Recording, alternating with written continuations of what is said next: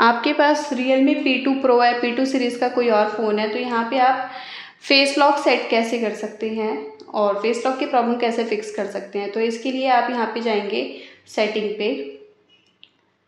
Setting पे जाने के बाद इस टाइप से ऑप्शन आएगा स्क्रॉल कर लेंगे और इसके बाद यहाँ पे आपको सिक्योरिटी एंड प्राइवेसी के ऑप्शन पे क्लिक करना है। डिवाइस अनलॉक पे क्लिक करना है। इसके बाद फेस एंड फिंगरप्रिंट अनलॉक पे क्लिक करेंगे। फेस एंड रॉल पे क्लिक करेंगे। जो भी आपके फ़ोन का लॉक है, वो एंटर कर लेंगे। और यहाँ पे कैमरा खुल जाएगा। कंटिन्यू पे क्लिक कर लेंगे आप। तो यहाँ पे फेस लॉक लग चुका है। डन पे क्लिक कर लेंगे। मेरे को समझ नहीं आ रहा, अभी मेरी सिर्फ़ आईज़ दिख रही थी थोड़ी सी। उसी में ही इसने स्कैन कर लिया। फ़ोन उठाने का मौका तक नहीं दिया।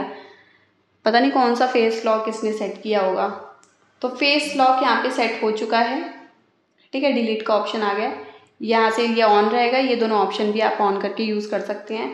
बाकी एंटर होम स्क्रीन के लिए आप इसको यूज़ कर लेंगे। डायरेक्टली अनलॉक हो जाएगा फ़ोन ब्राइटन स्क्रीन को ऑन रखेंगे तो अंधेरे में भी अच्छा काम करता है। और eyes to be open use करके ऑन कर लेंगे। मतलब जैसे डिसेबल पर्सन है जिसकी आइज़ प्रॉपर ओपन नहीं हो पाती तो फेस लॉक वो बंद करके यूज़ कर सकते हैं। और जो नॉर्मली हैं, वो ऑन कर लेंगे। ये सेट हो गया है, अब यहाँ पे अनलॉक करेंगे। तो देख सकते हैं, ये फटाफट से अनलॉक हो गया। फेस लॉक इसका अच्छा है, थोड़ा सा ही फेस देख के ये अनलॉक कर देता है। तो ऐसे करके आप सेटअप कर लेंगे, बाकी इसको रिमूव करना है। तो यहाँ पे आप गए तो ऐसे करके डिलीट कर लेंगे। तो फेस लॉक डिलीट हो जाएगा। मिलते हैं नेक्स्ट वीडियो में, तब तक के लिए नमस्कार।